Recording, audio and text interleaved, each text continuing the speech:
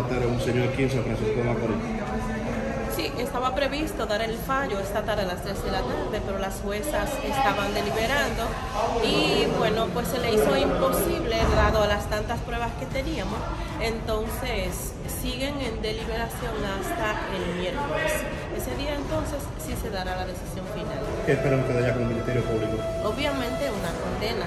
Se ha quedado demostrado que estos jóvenes cometieron un par de crímenes. ¿Qué pidió el Ministerio Público? 30 años para cada uno. Eh, ¿Puede refrescar eh, la, la situación de estos jóvenes? ¿Por qué fueron apresados?